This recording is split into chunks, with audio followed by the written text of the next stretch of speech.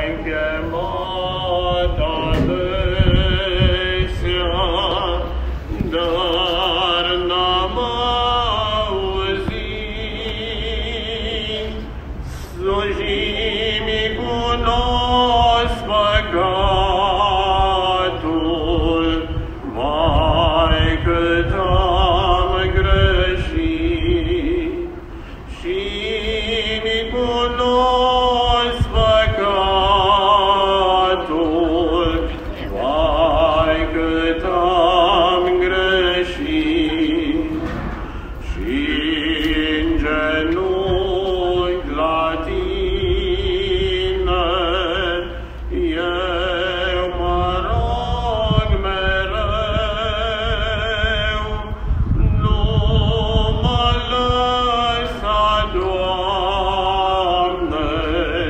cry.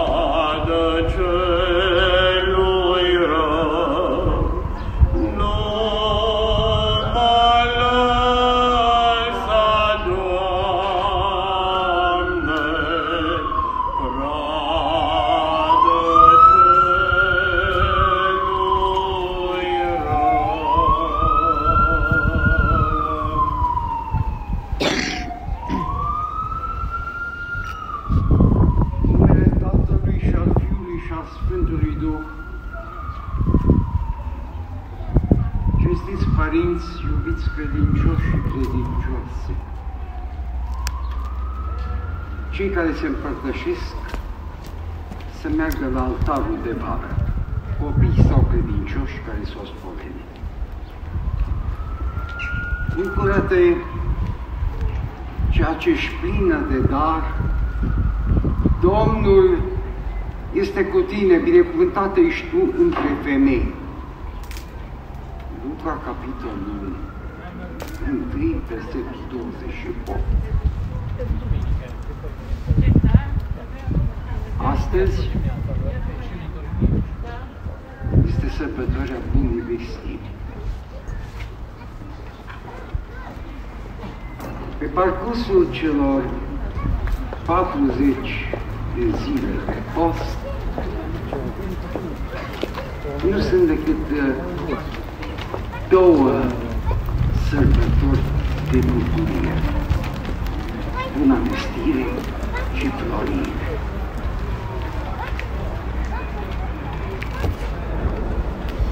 de mii de ani, omenirea aștepta un mântuitor, pe cel promis de Dumnezeu încă în rai, pe cel care este profețit de atâția profeți în istoria Vechiului Testament. Și iată că această bună vestire a venirii Mântuitorului, a dobândirii mântuirii noastre, o sărbătorim astăzi. Iubiți credincioși, există o revelație o descoperire primordială care s-a dat înainte de a fi scris Vechiul Testament, care s-a dat înainte de a fi prinse în canon cărțile Vechiului și al Noului Testament. Și în această revelație, în această descoperire, dinainte de Vechiul Testament, Dumnezeu și-a relevat, revelat uh, acea parte din istorie care se va întâmpla. Așa că sunt multe popoare în care s-a promis un Mesia, sunt multe popoare în care vine Mesia. Forma de vestire a lui Mesia, încă de la începuturile lumii, să nu fim smintiți de acest lucru. Că vin tot felul de știutori și a toate știutori și ne explică, păi uite că așa pare la Azdeci, sau așa pare la mesopotamieni, sau așa pare același lucru.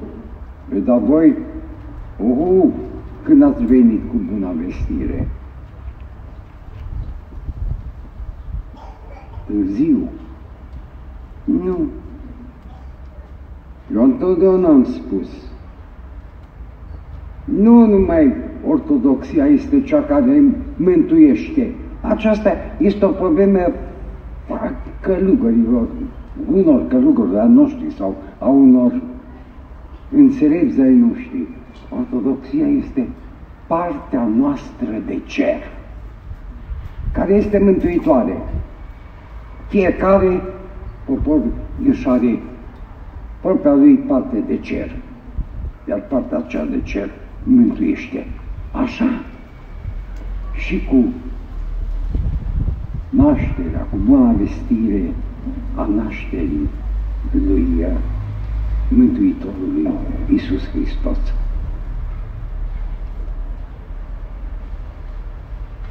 Descrierea aceasta la Evanghelistul Luca ne dă o nădejde și ne dă o bucurie prin care noi suntem îndreptățiți să o preamărim, să o preaslăvim pe Maica Domnului care este născătoare de Dumnezeu. Auziți cum se face această uh, vestire de către un trimis al Domnului, de către îngerul Gabriel.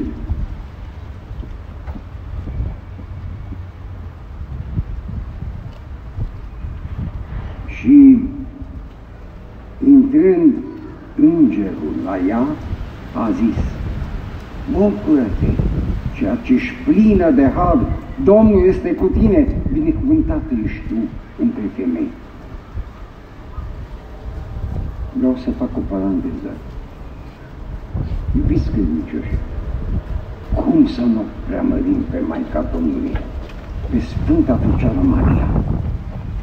Când iată, această binecuvântare i-a dus-o chiar Dumnezeu în vorba îngerului. Bucură-te! Domnul este cu tine, binecuvântat ești tu între femei. Deci cum să mă depărtez și să spun, Maica Domnului a născut și atât a făcut, după aceea nu mai însemnat nimic. Nu, este o sărbătoare închinată Maicii Domnului în primul rând această bună vestire, pentru că Dumnezeu a binecuvântat-o, a ales-o, a trimis pe îngerul său și i-a vestit mântuirea, mântuirea noastră a fiecăruia. De fapt, să vedeți ce frumos se spune la stihirea Lidiei de la Bună Vestire. Trimis a fost Arhanghelul din cer la Fecioara cea neprihănită de nuntă să-i vestească, zămislind în chip străin. Trimis a fost sluga cea fără de trup în Nazaret să anunțe venirea stăpânului. Trimis a fost ostașul ceresc la palatul măririi cel însuflețit să gătească ziditorului lăcaș nesfârșit.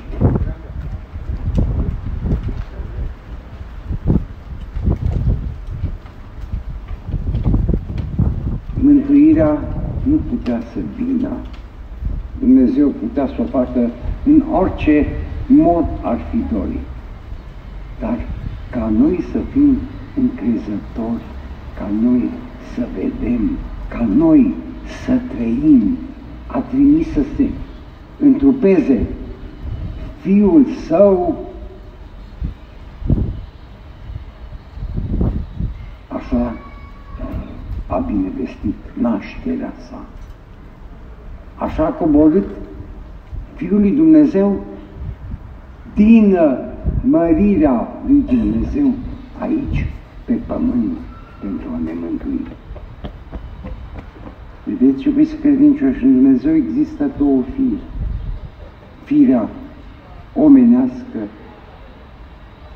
și firea divină, firea dumnezeiască.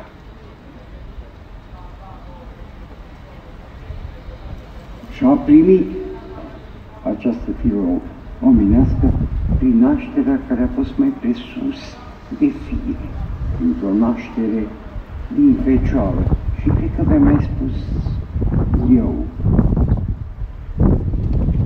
că anumiti cercetători au încercat să demonstreze științific nașterea din fecioară. Este vorba de așa zisa partogeneză,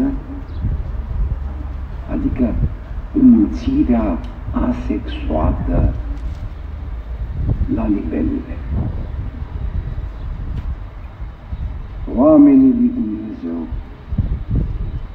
nu poți să îl pui pe Dumnezeu în niște paranteze. Dacă nu accepti minunea, înseamnă că nu accepti credința. Sunt oameni care sunt foarte deștepți. Și în ziua de astăzi și la noi, dar care sunt necredincioși. Ar, mer- ar merita să fie pănuiți moral atunci când el neagă pe Dumnezeu și când încearcă să ne convingă, nu științific, nu există, nu că sunt legende, nu că... Dacă tu nu crezi, totul nu poți să dobândești decât prin credință. Restul nu este decât o limitare, pentru că mintea omului, orice spune, este atât de limitată. Ori păcatele noastre le facem în aceste limite. Evanghelistul Matei, în Evanghelia sa, capitolul 1, versetul 16, spune că din Maria s-a născut Hristos. Deci iată că sunt mai multe uh,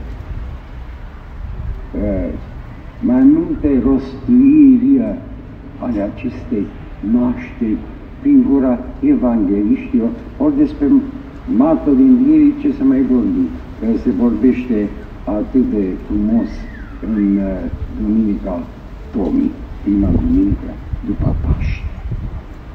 Astăzi este buna vestire și mai citim în Matei, în Luca, capitolul 1, versetul 48, mărturisirea Mariei, care este o mărturisire universală. Iată, de acum înainte, mă vor ferici toate neamurile și toate neamurile la care a ajuns cuvântul lui Dumnezeu o fericesc pe Fecioara Maria, pentru că a născut Fecioară, este născătoare de Dumnezeu. și este binecuvântată de Domnul. Stă la picioarele Fiului Său, se roagă și intermediază, intermediază pentru noi toți. Astăzi este buna vestire, vestea mântuirii noastre, vestea prin care noi ne facem părtași la împărăția lui Dumnezeu. Amin. Mărire Tatălui și Fiului și Sfântului.